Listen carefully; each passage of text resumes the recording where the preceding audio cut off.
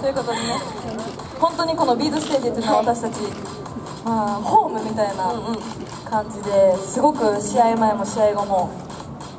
あのー皆さんからたくさんパワーをもらった場所であり本当にメンバーもたくさんの思い出が写真としても残ってるしねなんかもう何全然こんなこと言うつもりなかったから ねなんかこう泣きそうになってきたけど大切な場所やね。大切な場所です、本当にこうやって集まってくださる皆さんがいるおかげで声出されへんくてもありがとう。ありがとう。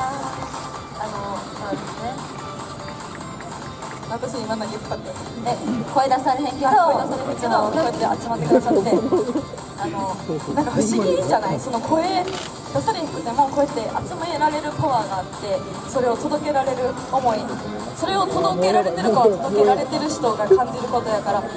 それはねちょっと逆にはですけど。こうやってもうほんまにすごく大切な大切な場所でこの Bs Girls 2018の今シーズンもこの Bs Stage でラストということでもうこのあと写真撮影会がそうですねパフォーマンスはもう京セラドーム大阪では、ね、ないので本当にこの場所で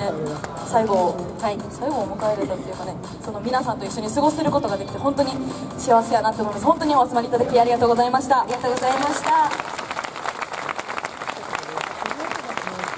今シーズンもあの皆様にメン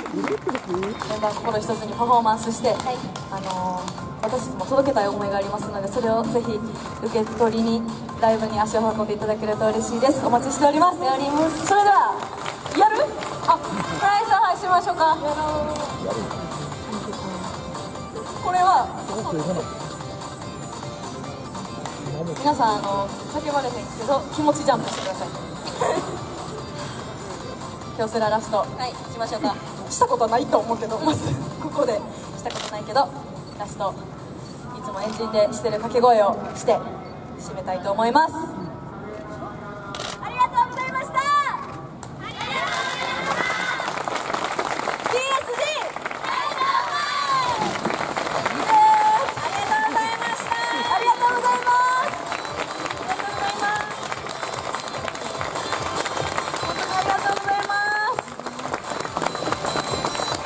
とうございます